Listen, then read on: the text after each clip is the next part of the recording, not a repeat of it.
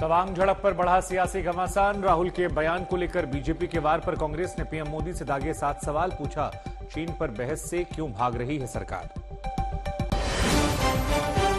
बिलावल की बदजुबानी के समर्थन में पाक मंत्री शाजिया मर्री की गिदड़ भपकी कहा, हिंदुस्तान ना भूले कि पाकिस्तान के पास परमाणु बम। बिलावल के खिलाफ भारत में ज़बरदस्त विरोध। शराब कांड के खिलाफ बिहार में ज़बरदस्त सुबाल। कई शहरों में बीजेपी कार्यकर्ताओं ने किया नीतीश का पुतला दहन। मरने वालों का आंकड़ा सत्तर के पार।